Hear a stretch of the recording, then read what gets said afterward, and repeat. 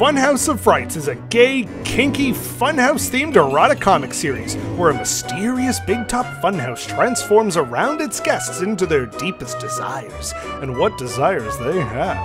After an awesome Kickstarter campaign and a well received first book in the series, I want to continue the insanity by making the next book with even more chances for backers to get in on the action.